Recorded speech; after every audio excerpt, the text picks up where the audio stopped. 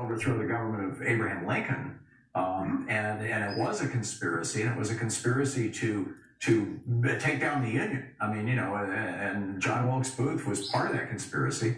Um, the, the people who were involved in that were hanged. I mean, I believe there were six of them. I, would have to go back and look. It's been a long time since I read that history.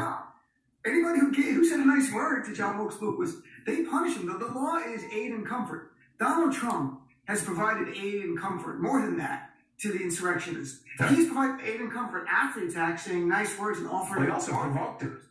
He, but right, he's also planned it. This is our.